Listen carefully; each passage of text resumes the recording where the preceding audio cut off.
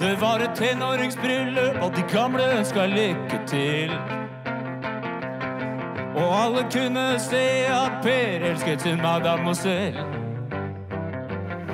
Og da den unge monsieur og madame fikk risengryn og smil Selv avisa de gamle at bli hva du gjør det til.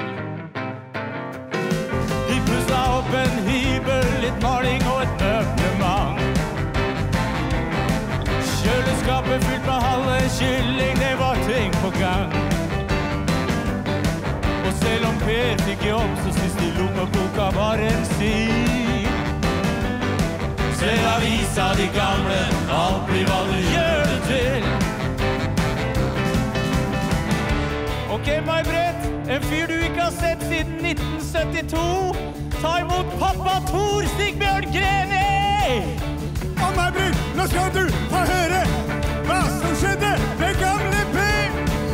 kjøpte pent brukt eskort med GT-ratt og trimastak.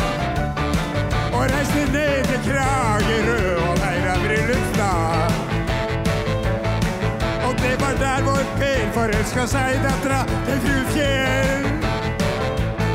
Ser avisa de gamle, blir hva du gjør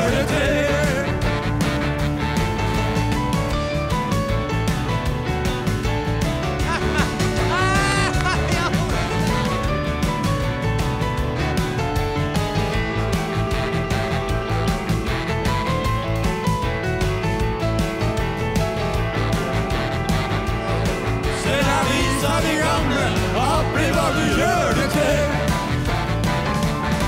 Det ble et tenåringsbryllup, de gamle skal ligge til. Og alle kunne se at Per sitter madam og ser. Og da den unge monsieur matta forsvant i åpen